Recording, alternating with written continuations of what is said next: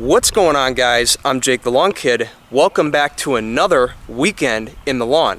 So for those of you guys who live in the US, you guys know that this is a really big weekend for lawn care pretty much everywhere. And the reason that is, is because it's a weekend where we dominate harder than we ever have before, making sure that our lawns are not only green and thick, but they're as deep and as dark as they can possibly be. And the second reason this is a really big weekend is because it's a day where we celebrate those who have sacrificed their lives in defense for the freedom that we enjoy to this day. So for any of you guys who have served in the military and sacrificed your lives for all of us, I just want to go ahead and say from the bottom of my heart, thank you very much. So back to that first point I made.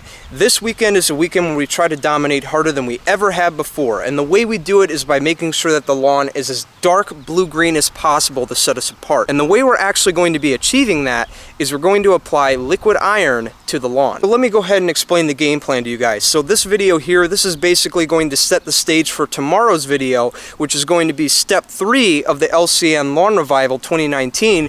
And what I'm going to be doing over here is actually going to require an application of iron. So this video here, I want you guys to understand how to calculate the amount of iron you put on the lawn. The reason this is important is because as you're gonna hear me say in tomorrow's video, as well as a couple coming up after that, is that iron is a micronutrient. And because of that, it's required that you apply it in smaller quantities. And overall, this is also a great reason to answer a question that a lot of you guys have been asking me, and that is how to calculate pounds per thousand with liquid products. Because a lot of you guys who've been following me for a while know that we calculate pounds per thousand with granular products like the starter fertilizer and the Milorganite. But what I want to do today is I actually want to take you guys through some exercises while we're calculating the iron to show you how to calculate pounds per thousand with liquid products. With all that being said, let's get into the video, bruh.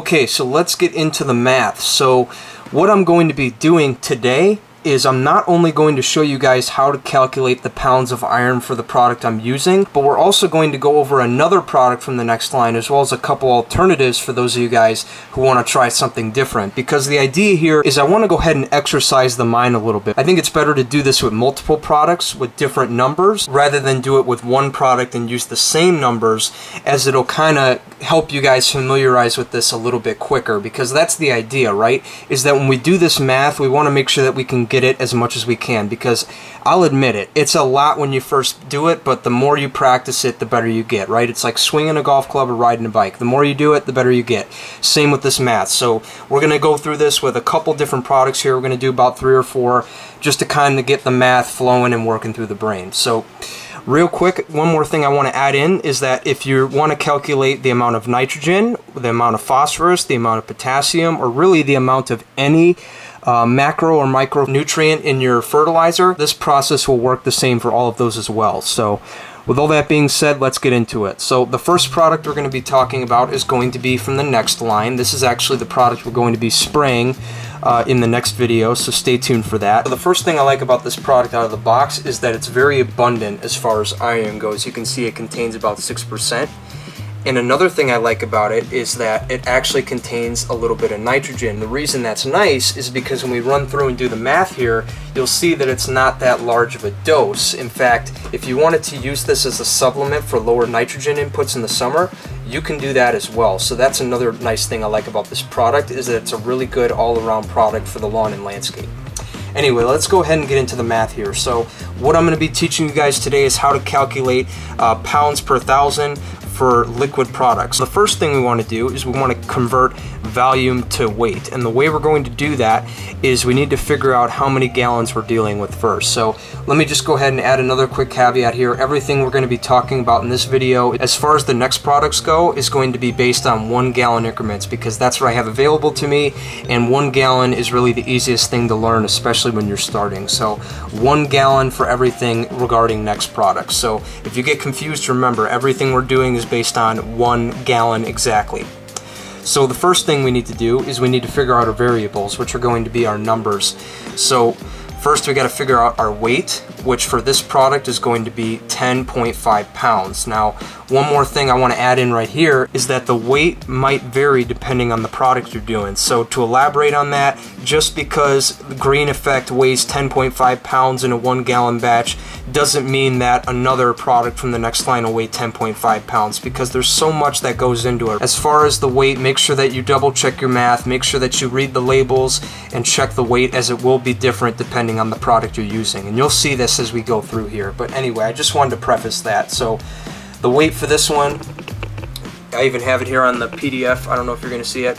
One gallon is equivalent to 10.5. Uh, so 10 and a half pounds. Now we need to find our volume. Our volume is going to be calculated in ounces because that's how our application is going to be calculated. So in our case, we're going to be using 128 because 128 ounces is equivalent to one gallon.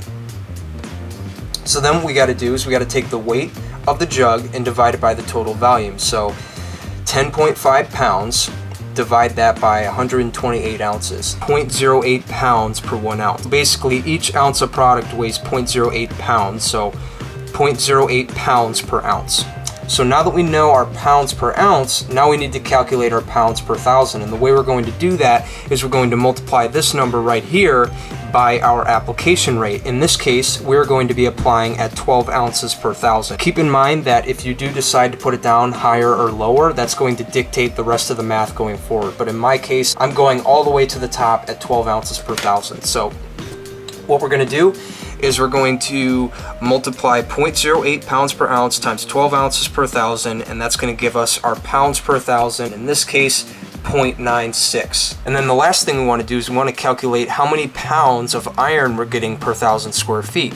And the way we do that is we take our pounds per thousand, which again is 0.96 pounds per thousand, and multiply that by our percentage of iron in the mix. So as you'll see right here, 6% iron.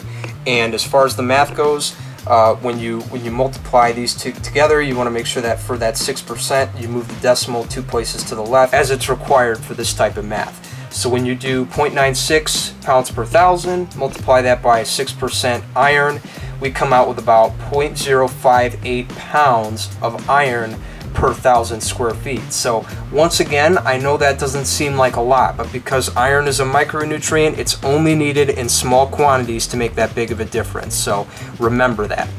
And then, like I said earlier, if you want to use this method to calculate, say, nitrogen, which this product is pretty abundant in too, you can see it contains 7% nitrogen. Same, same thing, all you got to do is take the pounds per thousand and multiply it by 0.07 because 7% nitrogen and we come out with about 0.67 pounds of nitrogen per thousand square feet. Okay, so the next product we're going to be doing is actually going to be our good old friend microgreen. So you guys know I like this product a lot as it's very abundant in a lot of things, specifically micronutrients, but for the purpose of today's video, we're going to be focusing solely on the iron. This product contains 3% iron. Again, the first thing we have to do is identify our variables. This one gallon jug of microgreen weighs 9.7 pounds. And like I said, the weight can vary depending on the product, so keep that in mind. Again, we have to take our weight and divide it by our volume, so 9.7 pounds divided by 128 ounces that's another 0.08 pounds per one ounce. Now, and then as far as application rates for this product, if you wanted to run it alone, you can apply it at 12 ounces per thousand. It's not going to hurt a thing. It's only going to help. So um, 0.08 pounds per ounce, 12 ounces per thousand is our application rate. Multiply the two together, we come out with 0.96 pounds per thousand square feet. And then the last thing we got to do once again is we got to go ahead and calculate the pounds of iron per thousand square feet. So it's pretty simple to do that. 0.96 pounds per thousand, multiply that by 3% iron, multiply that by 3%, move that decimal two places to the left, so 0.03, and you come out with 0.028 pounds of Fe. And then if we want to have a little more fun, this product has 2% potassium, so again, same thing. 0.96 pounds per thousand, multiply that by 0.02 uh, because 2% potassium, and we come out with 0.019 pounds potassium. Now, if you guys are looking for uh, macronutrient supplement in the summer, then this would be a great product to use once a month at that 12 ounce per thousand rate. This third product we're going to be talking about is actually going to be an alternative to the next line from a company called Southern AG, and I actually got this product directly off of domyown.com. I want to go ahead and offer you guys some alternative, and this product is perfect for that.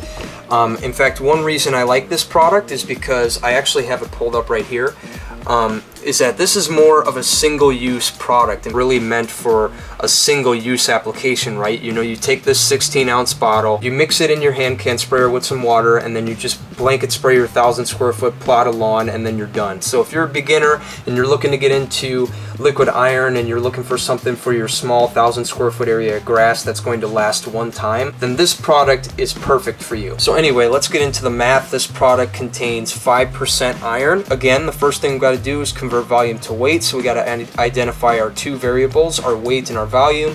So our weight is one pound and our volume is 16 ounces. So what we got to do is we got to take our take our poundage divided by uh, the volume, so one pound divided by 16 ounces, that comes that gives us about 0.0625 pounds per one ounce product. Take that and multiply it by our application rate. So 0.0625 pounds per ounce multiplied by our application rate, 16 ounces per thousand. That gives us about one pound spread evenly across a thousand square feet of lawn area.